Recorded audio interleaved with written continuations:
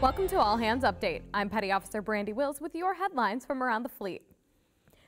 The deadline for completion and documentation of Sexual Assault Prevention and Response Fleet, or SAPR F training, for E6 and below sailors is fast approaching. The deadline for training is March 31st. Sexual assault prevention is an important element of the readiness area of the 21st Century Sailor and Marine Initiative. And speaking of the initiative, it is celebrating its one-year anniversary. Introduced by the Secretary of the Navy March 5, 2012, it's a combination of programs aimed at improving readiness, inclusion, continuum of service, safety, and physical fitness. For more information, log on to 21stcentury.navy.mil. And you can read more about these stories at Navy.mil. From All Hands Update, thanks for watching.